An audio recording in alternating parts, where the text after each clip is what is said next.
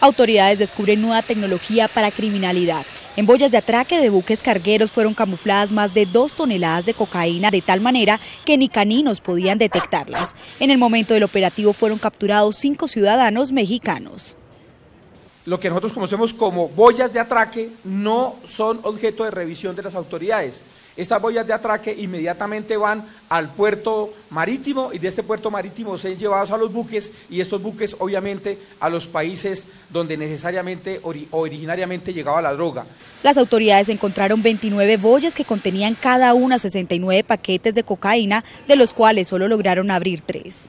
En el mercado, en el último lugar donde llega, puede estar avaluada en más de 100 millones de dólares. Los capturados, quienes tenían la bodega en Cibate, Cundinamarca, fueron judicializados en Bogotá. Para golpear las mafias del, del narcotráfico, sus finanzas que tanto daño le están haciendo al país. Los paquetes de droga tenían como destino Estados Unidos, Canadá y México.